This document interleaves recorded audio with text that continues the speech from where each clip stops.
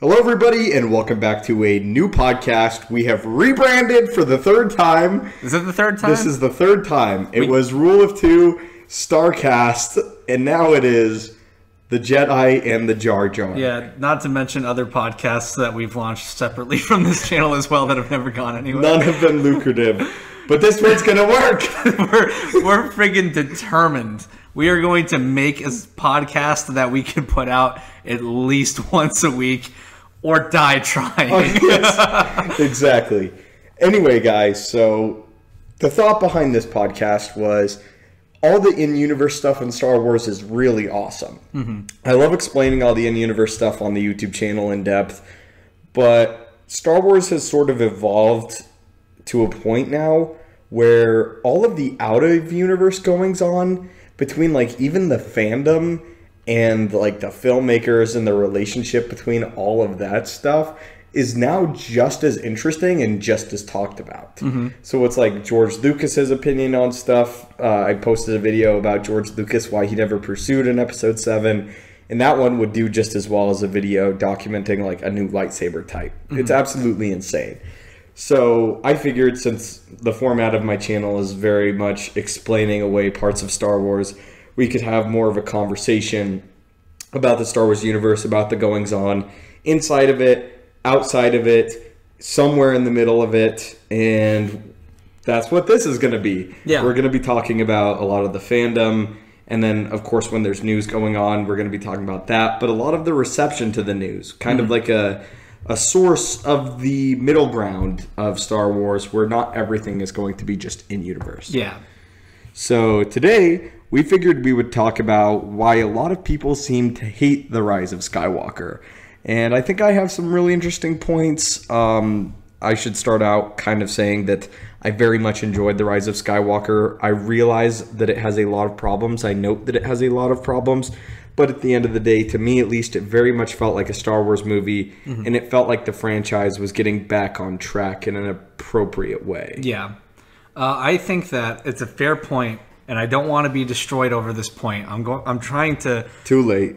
yeah, I want to word this in a way that I think will make sense, and that is while I recognize that this film has problems and it is not the greatest movie ever made, people do get excited at the opportunity to hate something. That is absolutely true. And Outrage culture. yeah, outrage culture. And you know what? It's fair. It's it's something that we've both experienced, I think, a little bit. I remember uh, when Batman v Superman came out, you and I literally just screamed outside in a parking lot, like, "How could they make a movie that bad?" But there, there is something that uh, is prevalent in fandom culture where if there's something you don't like, you want to be in a community where you all can vocalize your hatred for something. It is entertaining. It is entertaining. There's there's always something entertaining about it. But when it is all unleashed on a movie that doesn't really deserve it is when it gets weird. I know? think that for a lot of now this is going to be a little bit weird, but I think the rise of Skywalker from certain points of view does de- deserve hate, and I'm going to get into this a little bit. No, I agree with you 100%. But I don't think it's because of the contents of the movie. Mm-hmm. I think it's the contents of the trilogy where the star where the rise of Skywalker deserves a lot of the hate. yeah. And I guess I'll just get right into the point right now. The The Last Jedi was a poorly received film for a lot of the fandom. Mm-hmm. I would say like 50-50, like that's the most divisive Star Wars movie I've ever seen or even heard about. I- Yeah. But with that said, before the vocal uh, the minority that was really vocal were the people that hated it and now it's sort of flipped around now that the people that hated the last jedi kind of got what they wanted a little bit now it's the group that was won over by the events of the last jedi that's really upset Yeah. which I think is super interesting, actually. Um, all of these people on Twitter that really got behind this sort of meta take on Star Wars that The Last Jedi had are really pissed off because it did away with it.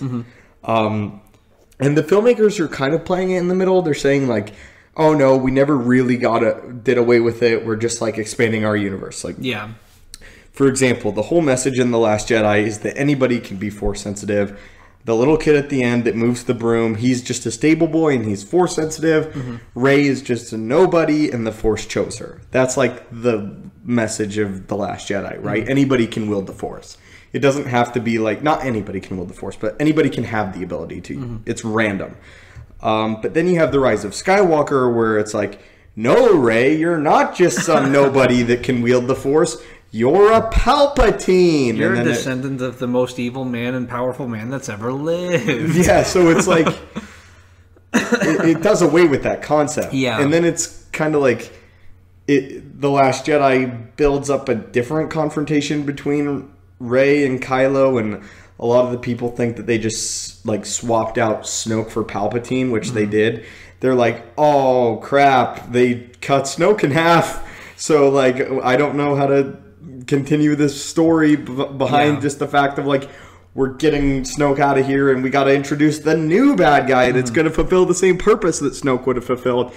But that did away with Hmm. all of the plot threads that some people enjoyed about The Last Jedi. Yeah. And I didn't enjoy The Last Jedi as far as what it did to the universe. And that's why I really like The Rise of Skywalker. So I'm very much on the other end. But at the same time, it's like The Last Jedi did do things that entertained a group of people. Yeah. And the- another big example is people love the character of Rose Tico. I personally don't understand it. I don't. Th- I think Kelly Marie Tran is is super mm-hmm. nice and great, but I don't relate to Rose Tico. I think that she's really annoying. But at the same time, people that like relate to that girl mm-hmm. relate to Rose to see her blatantly just sidelined like that so hard in the mm-hmm. Rise of Skywalker, where she has like a minute thirty of screen time. I can see why that would piss people off. Yeah, not only is she sidelined, but she's like friend zoned in the movie. And it's funny too because even when you just said that, like I thought you were being sarcastic for a second and you were going to get to a punchline, and then you just like said like I just don't get it. Um, and as far as your point about how it's more of a a distaste or like a hatred for the trilogy and not so much this one individual movie, it's absolutely true because this is the only like three act structure I think I could think of that just ignores each act of the movie to appease fans. It almost operates as like a Halloween sequel where they come out with Halloween 11 and they're like, forget all the other Halloween movies. We're doing our own movie. It, it almost feels like specifically though, forget the events of the Last Jedi. Yeah, but The Last Jedi is like, forget the events of The Force Awakens. And Right. there's no consistency. Like, there's no narrative. Not so much forget the events, but forget the plot lines that were established. Yeah. And, um, You could almost view the Rise of Skywalker without watching the Last Jedi. Almost, yeah. It it literally like tells its own story in between. The only thing you would be confused about is like where Snoke went, Right. you know. But other than that, like everybody's just kind of in the same places as they started. Yeah, it's like the Rise of Skywalker is episode eight point five and nine. mm-hmm. It's it's really uh, unfortunate because part of the reason why the Rise of Skywalker fails at the things that it does fail at is because it literally has to fill you in on a story that they made no movie for. It has to like constantly inform you of like where these characters have been, what they're doing, and um, not let it breathe. It has to say to you, "Oh, Palpatine's around now." They tell you that in the title crawl Yeah. and they wouldn't have had to do that if the last jedi wasn't terrible but unfortunately it's just a really flawed movie and this movie suffers uh, because of that flaw and they were just like scrambling to make some sort of ultra satisfying movie and because A cohesive movie too. yeah, and it, it kind of just suffers from all of that. And not to say that this movie is like a terrible movie or that it isn't ultimately better for Star Wars, because I do think that The Rise of Skywalker is about as good as we could have gotten this last movie in the trilogy and has satisfied fans enough to the point where I think people are generally on back or back on Star Wars, especially with the additional help of like The Mandalorian and stuff. Like generally I think fans are pretty happy right now. Yes. Um, not so much on Twitter. Yeah. But that we got to keep in mind that the people that like aren't liking Star Wars right now and like voicing their opinion for that for it are really the minority. Uh, Yeah. Pretty much everybody that I've talked to about the Rise of Skywalker that's just a moviegoer did not like the Last Jedi, and they did not, and now they do like the Rise of Skywalker. I think that's subject to change because people get most of their opinions now from the internet. Yeah. I spoke to people that like um, have that really enjoyed their Last Jedi, and now sometime later, it's like they hate it. Yeah. And I've talked I've talked to people that say that that believe like this whole trilogy is just like a farce, and I just look at them like complete awestruck. It's like you've got to be kidding me. Like you think that the Force Awakens, Rogue One, Solo, and all of this stuff is just a farce? Mm-hmm. Like it's clearly not. Yeah. Like there, it, there's clearly production and care, and and in a lot of cases, really good writing behind this. Like mm-hmm. you're going to judge the remits of the entire Disney era of Star Wars with the few story choices that you didn't like in the Last Jedi Yeah. like we i won't name this individual obviously but we talk to this person all the time and he just mentions why he thinks that just the rise of skywalker is going to be just this hilarious screw up of a movie Yeah, like he's just excited to watch it all crash and burn. You know? but it's not there's nothing before that that i think would really indicate it And I think um, it's a fair point. I just totally lost my train of thought. i'll go off then then i think Wait. also by the same token that it's not okay for everybody to think that these oh. movies are flawless I was going to say it is fair for people to change their minds on these things because we're definitely those people too. I remember when we both saw The Last Jedi, we we were like, "Oh, you know, it's pretty good." And then as you kind of sit around, it's like, "Oh, it, it feels worse over time." You start realizing what's happening. And I remember even with the Force Awakens, and I don't believe this is a valid thing, but um, I had a friend that like the day the Force Awakens came out, he was like, "That was such a good movie, I loved it." And then like a day later, I talked to him, and he was like, "It's so bad." Like I can't believe how bad the movie is, and I was like, "What happened?" Like you watched it one more time, and suddenly you've completely 180 your opinion. And he was like, "Bro, it's just a New Hope. It's the New Hope point two. Um, and there there is some degree of fairness to that where you are allowed to change your mind but what is i think the bad part of that the thing that's corrosive in the fandom is that people just kind of align their opinions with people who have public opinions and like you're, you're more likely to agree with the person that you're listening to than you are to just form your own opinion. That's kind of a thing that's prevalent in our culture today.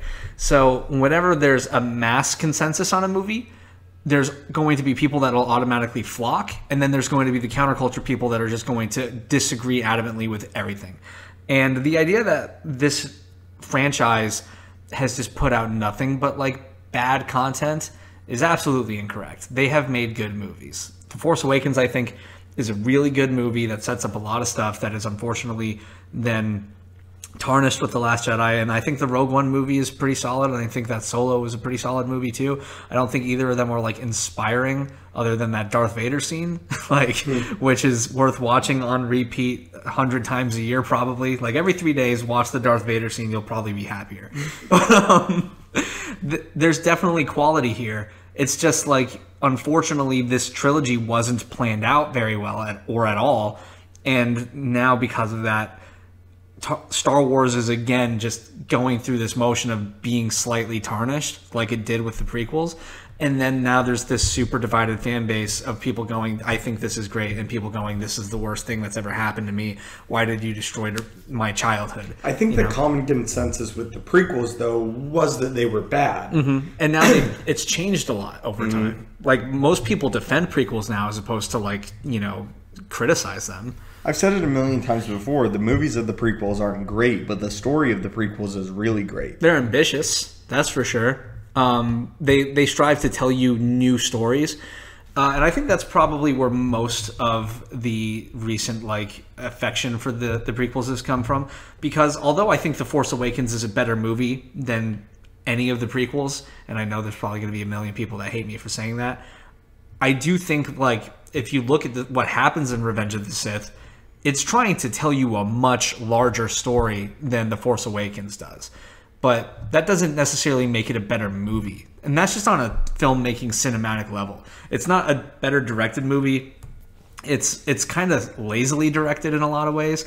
I mean, uh, half of that movie is just like shot reverse shot, and then everything's against a blue screen. Which is not to say that there's no blue screens in the Force Awakens or anything like that. It's just like there is a craft to filmmaking and to directing that those movies I think lack. But that doesn't The Force Awakens has. that The Force Awakens has, but that doesn't mean that the stories that they're trying to tell you in those prequels don't have ambitious elements to them that are really good for the universe. I think that the prequels are probably the best thing that have happened for the Star Wars um, like Legends universe. Like there's so much to go off of. I mean, I'm sure that even you, uh, somebody who makes videos on this every day, probably pull the most that you make videos on, like with content that came from those prequel movies, right? Yeah. I mean, it's probably a 60-40 split. yeah, Or probably 60% is prequels and then 40 is literally everything else. yeah, because there's just so much. Every frame of those prequels is so densely packed. Yeah, it may look like crap, but it's still interesting. There's a lot of interesting stuff. There's some stuff that's less interesting that is really frustrating, like how Darth Vader invented C3PO or he made C3PO. That's frustrating. But like overall those movies do have some sort of ambition that these new movies really don't. And that was George Lucas's major critique Mm-hmm. of The Force Awakens is he felt like it was retelling a story that had already been told, his story, and he felt like the as far as technology is concerned, it never really pushed the boundaries because Yeah. What George Lucas wanted to do was every time he made a Star Wars uh, trilogy, he wanted it to push the boundaries and the foundation of filmmaking. Mm-hmm. If you don't know, uh, the sequel trilogy, George Lucas's one of his ideas was to explore the Force on like a microscopic level. Yeah. Like Honey, We Shrunk the Kids meets Star Wars. We're gonna figure out more about the midichlorians. That sounds so bad. But like that's that's what he wanted to do is Mm-hmm. he wants to push the boundaries with every new version of Star Wars. He wanted to explore the wills. What Yeah. controls this ultimate version of our characters and the fate of these characters on this Mm-hmm. microscopic. Mm-hmm. all powerful level. And I hate that. you you hate that? I hate the Oh idea. yeah, well yeah. like, I think exploring the wills is interesting. The whole thing where it's like, uh, "Honey, I Shrunk the Kids." It's like George Lucas watched Ant Man and saw him go into like uh, the quantum realm and was like, "What if those were um, midichlorians? All those bright flashing lights, and what if those midichlorians had consciousness and made all the good people good and all the bad people bad? Like that would be an unfortunate movie, but it would be a different movie. That's for sure. There might be something interesting to it. Right. I think that though you can take Star Wars in a different way that's not insane. Yeah. I would say that that's not Star Wars anymore. Yeah, it definitely doesn't sound like it. Uh, and I feel like there's such a good potential to just like take a ton of these Star Wars stories that not everybody knows or very little people know and and turn them into these bigger movies and make a more interesting universe. Like everybody's talking about making an old Republic movie or an That's old what's Republic going to happen. I, Yeah. I would put all of my I would put my entire net worth on the fact that the next trilogy that we will be getting will be an Old Republic trilogy. Mm-hmm. Yeah, because why not do that? That's the best idea. You get to go in a time that is something that is already explored, that there's foundations to build on, but at the same time tell a story that we haven't really seen. Right, but the reason Disney didn't do that initially is because they probably didn't have enough faith. Yeah. Mm-hmm. One of two things. They didn't have enough faith in their own vision and their own product of Star Wars Mm-hmm. initially, and they didn't have faith in their own ideas that they could create and expand a new era of Star Wars.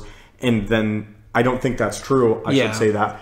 Or they want to milk all of the iconic imagery to the absolute core of Star Wars and its very fiber, which I think is absolutely true. Mm-hmm. Yeah. They're, they can't open up a galaxy's edge with like the brand new cool shit because all the old guys are going to be like, oh, I'd be better if it was the Falcon. Yeah.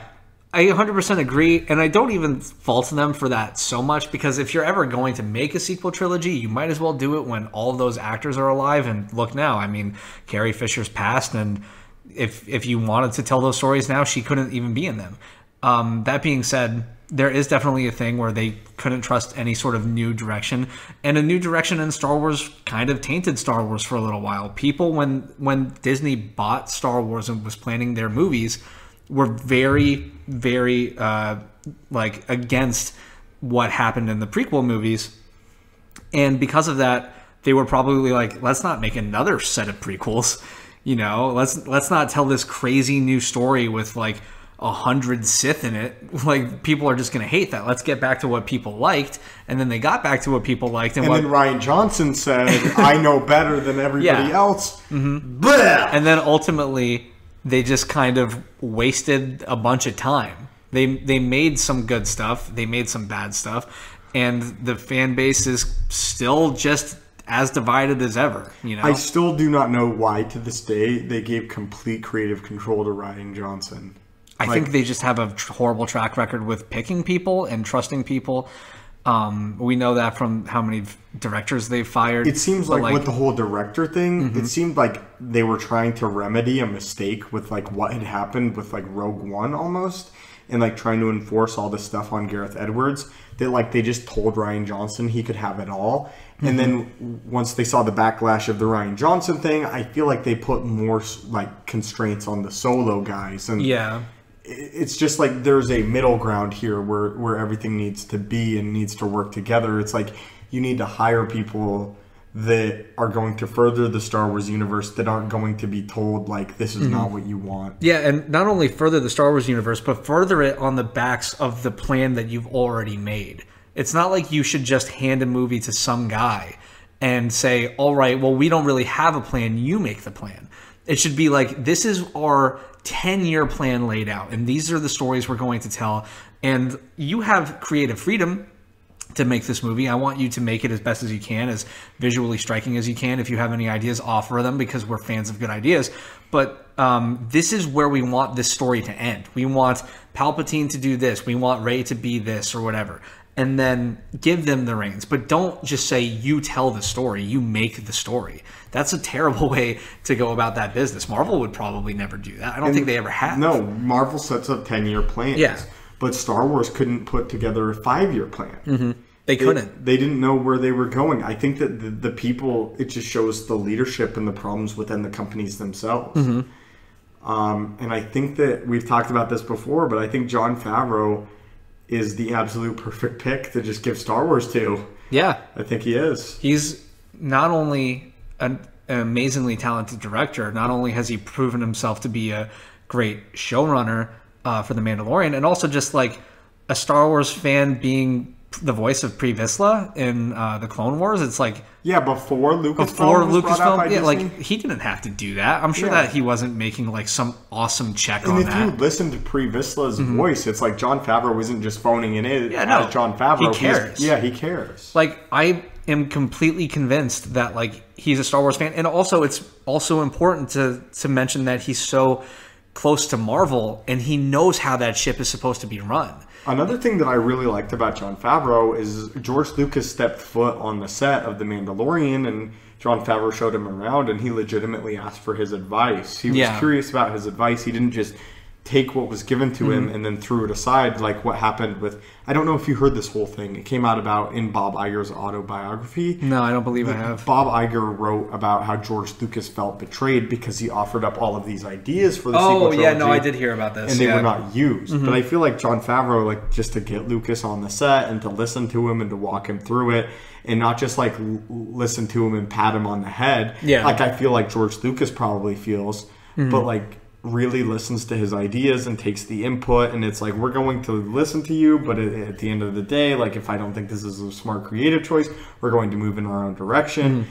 but Jon Favreau has absolutely shocked me with a bunch of the stuff in The Mandalorian. I, I, I genuinely care about Mando. Mm-hmm. I think every single character that they've introduced has been likable. Yeah, they're fun. They're likable and they're instantly recognizable. Mm-hmm. And I feel for a character that's been in two episodes of the show. Like mm-hmm. when Kuiil dies, that hit that hits me really hard. Even like IG Eleven, who is a character that his entire character is I don't have a soul, I am not alive, I am a droid and I am here to kill.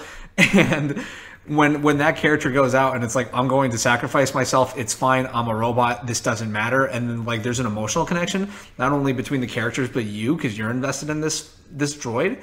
It's it's hard to do that. It's really difficult to convey emotion in any sort of artistic medium. And to be able not only to do that, but to tell an interesting story with fun, likable characters that like I can't be more excited to watch in a second season. You know, even um, what is his name? Greef. Uh, Greef Karga. Greef Karga, I think is a fun character, and it's like he doesn't have to be, but he's he's really good. He's a fun character. And that's what we need. We Yeah. need something that is run like The Mandalorian on Uh-huh. a bigger scale Mm-hmm. because each episode of The Mandalorian had a different director, but it had one vision behind it. Exactly. And imagine how much better all this stuff would be if they just kind of looked at that and went in those footsteps. Because I think that's like the biggest flaw with Rogue One is none of the characters are all that fun or compelling, not at all compared to like uh, the Mandalorian. And if if they were able to do stuff like that, the man or Rogue One would have been this massive like hit with everybody. I think it's definitely still a hit and people like it. But does anybody want a Cassian and and Andor series? Nobody wants that. Yeah. not a single person wants that. But would I be open to like some sort of like uh, what is it, Cara? Uh, Cara Dune. Cara Dune series? Like I could see that being good. She's an interesting character. Same with any of the other supporting characters in The Mandalorian. But I mean, I I just don't think that they've at all stepped foot into that territory and now they're like trying to take those baby steps into it where they're they're trying to form a plan it's just unfortunate that right now we don't know very much about it Another going back to the Mandalorian, don't forget that like Baby Yoda straight up stole the utter spotlight from Palpatine. Mm-hmm. Like it's a good point in all of Star Wars, people are way more invested in Baby Yoda than they were in the return of the greatest Sith Lord of all time. Mm-hmm. Because it's new and different and smart and fun and fun. it is smart it asks questions and there's this anticipation for those answers. When when um, palpatine shows up it's really not that. It's more like oh okay he's back. Um, okay. And then you could be like well how did he survive? I guess he just did. And does it really matter? No. What happens at the end? He dies. Like there's, there's not a whole lot to go off of. It's, Where it's Baby Yoda, the story of Baby Yoda is like, how did this child get here? Mm-hmm. How is Mando going to return it to the Jedi, or is he going to return Baby Yoda to um, Yoda's species as Yeah. a whole? That- what, that's what do the arc that's- remnants of the empire want with him Yeah. is he like a descendant of yoda's is he like or related he doesn't he's probably most likely not a descendant um because yoda's probably a good boy but um there's there's so much like to wonder about and then like as you get to the end of the mandalorian and uh There's a new thing the, introduced. the Moff Gideon character, you're just like, I'm I'm just so curious to see what kind of a villain he's going to be because he's he's automatically compelling the second he's on screen. Like you feel that he's a threat, he's intimidating, he's played by a great actor, and then they they have that little teaser at the end, which I guess we probably shouldn't say, even though we've done a lot of spoilers already for this stuff. Um, the dark saber shows up. yeah, okay. So the dark saber shows up, and you're just like, oh, like n- they're not ignoring the past, and they're moving Even forward. Clone Wars stuff. It's Yeah. like, thank you. Just like it, it is, it happened. Don't pretend it didn't happen. I get that, like when the Force Awakens came out, that was what was cool, and the Force Awakens mentioned some Clone Wars stuff a little bit because they said the word clones, but like they they flat out ignore all of that history. And it's not something you should do because this is a universe that has a history. So use it and build off of it. Don't just tell your own story with nothing and therefore tell no story. You know, I mean, I'm I'm so curious to see what they're going to do with the second season of The Mandalorian, and with uh, the Obi Wan series, and the rumored Darth Maul. the rumored Darth Maul series, which I mean, I would love. Yeah. I, I think that off the back of The Mandalorian, I've given the Disney Plus cruise like my complete trust, and I hope they don't ruin that.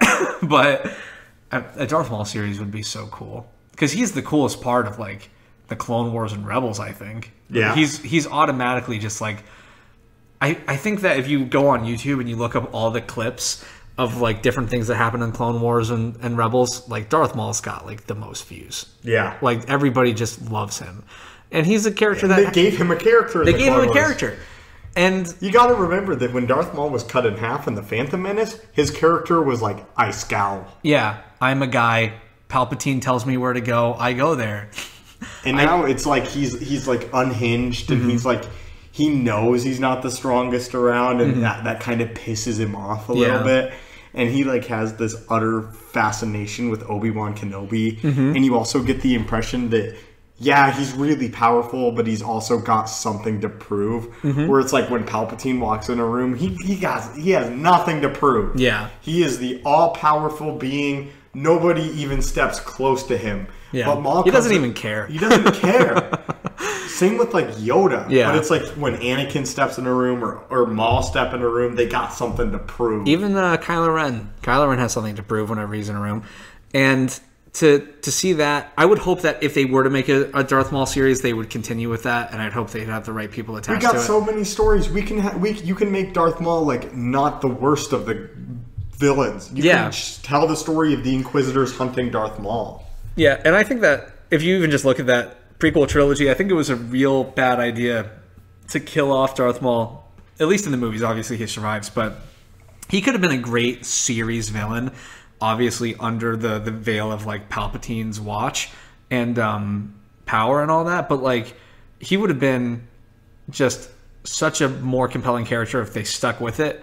And not to say I don't like that we've gotten Count Dooku because obviously Count Dooku is a great character and um, He's very different. he's very Maul. different from Maul. Uh, if they kept Darth Maul, we probably wouldn't have seen General Grievous or anything like that.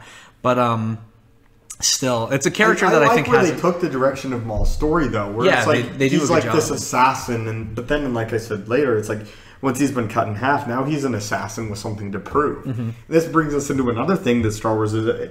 I think if you guys take anything away from this this episode, it's that Star Wars is moving in a good direction. yeah, it is. Uh, they have Clone Wars season seven coming out Mm-hmm. with brand new uh, animation that's like the older animation. Yeah. because that's another thing. Rebels just felt cheap sometimes. no, it really like I like the stories in Rebels, a lot of it, but it's cheap in comparison to Clone Wars. Mm-hmm. Um, anyway, though, bringing that back, and there's uh, even rumored now a sequel to Rebels, a series coming out. That'd be a lot of fun. They, in order to move forward, sometimes you need to make mistakes, and I think that they're learning. I think they've realized that uh, you can't just jump into things just because you want to make a lot of money right away, and you have to plan things out. You have to hire the right people, and you can't push your vision and your agenda on a universe that's clamoring for another one. You know what I mean? Star Wars right now doesn't need the same story told just to satisfy all the people that have been so vocal about how much they've hated the prequels. What they need is to tell something that's new and fresh, like The Mandalorian. And the second you do that, suddenly you have everybody's attention. That's what I think The Mandalorian has probably taught Disney is we made a good new Star Wars movie. It's set in a time that people kind of understand. It's something that we've kind of seen already. There's uh, stormtroopers. They look like the stormtroopers from the original trilogy, but by no means is this a rip off of the original trilogy. Is it? It's not. Um, it's not this story we've seen. It's a new character in a new time, and it's interesting. And that is what they need to make. They can't keep doing. Oh, we're going to tell you the story you've already seen. They can't give us a Cassian Andor series because nobody will like it. It would be ridiculous. They can't keep telling stories between episode three and four, with the exception of Obi Wan, because everybody wants that. There's a good 20 odd year story that Obi Wan has not told, and we need to know it. Because that's the only time we don't know, really. You know? Like, Yeah, that's it. I got nothing else to say. I'm talked out of this topic. yeah, I'm completely empty. you're empty. Your soul has been drained of all of its happiness. Not happiness. I'm excited going forward. We got No, a lot of too. good stuff to look forward to. 2019, I think Star Wars took a bunch of good steps in the right direction. For sure. It's not perfect, Mm-hmm. but I think one day we can get to something really, really, really Yeah. special. Is anything perfect anyway? No. Nothing's perfect. But I'm talking about like we could one day get a series of Star Wars movies that are just yeah. great. I think the Old Republic series, if it were to come out, which it most likely would and should, uh, will probably do a lot of good for this franchise, assuming that they're going to make real movies and not something stupid. They need to make a real, good, well thought out film built on the backs of the people that have told these stories, whether it was in a comic book or in a video game or anything like that. You can't just ignore those different mediums of this story because it wasn't something that Darth Vader and Luke Skywalker were in. You know mm-hmm. what I mean? You have to acknowledge what came before and freaking just straight up steal it. like you, there's all this great content that like the normal moviegoer has not seen. Just make them see it. Make me see it. I want to see it. Those cinematics for like the, the old Republic game are the coolest thing in the world. Make a movie with that stuff, please. But it looks like you got that death stare. you got those Sith eyes going. Let's finish. I'm just thinking to myself, I'm just like, I got nothing else to say. yeah. All right. Well, guys, Yeah. that was the first episode of the Jedi and the Jar Jar. Oh yeah, my friend here, Stuart, is the Jedi, and I am the Jar Jar. And by the way, his name is not Stuart. Stop calling me that on Twitter. He loves it when you call him Stuart on Twitter. I don't know where that started. It's not my name. But it's kind of funny now. it is funny. You know what? I'm okay with it. I say adopt it as the, the new nickname. Stuart. But yeah, he's the I Jedi. just want to know where it started. It, probably somebody just tweeted it and then caught on. You know, how else does anything start? It's like a disease, you know. yeah, but Jedi Jar Jar. I'm the Jar Jar because I don't know anything about Star Wars. I'm dumb. He's smart. He has to inform me on everything. It's really funny. It's a good contrast, I think. Amen. Amen. All right. Stay tuned for another one, I guess. It'll be here somewhere on YouTube. Anyway, Bye.